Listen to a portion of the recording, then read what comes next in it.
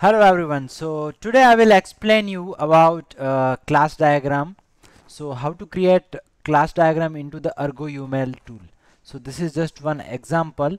So let's say there is one class for the animal. Okay. So for the animal there is a particular id we have given that for the dog id 1 cat id 2 kind of that way. And the name of animal like cat dog whatever name is there. And there are a few functions let's say set name and get age. So we can modify the particular name of that uh, uh, animal and also get age for the getting what is the age of that particular animal. And it is inherited. So inherit uh, so here inheritance is there. So cat is inherited from the uh, animal. So its animal's attribute will come under the cat because cat is also an animal. So if you see here uh, so uh, this attribute will come under the cat also. And additional there are a few other attribute for the cat. So which is tail length which is integer and its function is there. Uh, so this is called uh, generalization uh, and uh, there is one another thing is also associations. So let's say cat eats mouse. So here association is also there. So so we'll see that how to create this type of uh, class diagrams. So uh, let's start. So so for creating new class diagram if you see on the top like there are different diagrams are available. So here uh, use case diagram class diagram sequence etc there are different diagrams are there. So if you want to create new class diagram you have to just click on here class diagram. So once you click here then all the class diagram related uh, uh, attributes will come here. So for that we have to pick this one new class. So our class is animal. So I click here and then I click like this way. So I can make it bigger and I will click here uh, and animal. So this is animal class is created. Now for adding attribute there is one uh, here uh, plus sign is there. So if you click here it will give new attribute.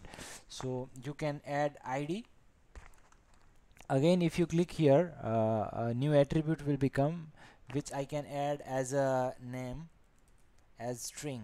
Okay. So we have to give data type and here all the methods will be there. So uh, if you click here again plus sign will be there. So you can click here and write like uh, set name and uh, uh other method you want to add uh, like get age. So kind of that way you can uh, add this create this class. So for that class you can see its properties difference are available. You can change like public protected private member even for the member also. If I click on the member uh, so here you can see the visibility and you can add details. Also you can do documentation also here. And there are different uh, parameters are there so you can use that uh, also if required uh, for the each. Now uh, like I want to do uh, inheritance. So I will click here. If you see here icon I can click here so it will give the inheritance or the here also options are there. Generalization for the generalization. So here you can add now uh, your cat. Cat and uh, you can write tail length and uh, again get tail length. Okay you can write that way. And uh, you can if you click here you will see that uh, associations uh, here. So if you click here uh, also this is available here also. You can directly click and create. And here uh, if you click here uh, then you can write its so cat its mouse and uh, its property you can add like weight or get weight whatever so this way you can create a class diagram. And for the class diagram you can see the details also here for the particular class diagram like animal cat mouse. So all the points you can see here. And you can set the property as well. So uh, here in the property you can modify that. And uh, detail documentation. So kind of that way you can easily create a class diagram.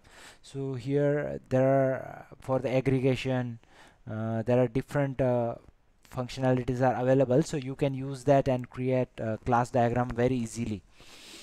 Okay so thank you for watching this video and please uh, subscribe to Devputer software for the more informative and technical videos thank you. Thank you very much